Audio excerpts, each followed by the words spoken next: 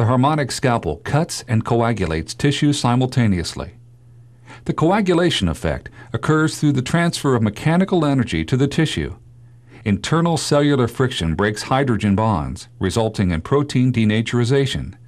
As the proteins are denatured, a sticky coagulum forms and seals the small vessels at a temperature under 100 degrees Celsius, minimizing smoke.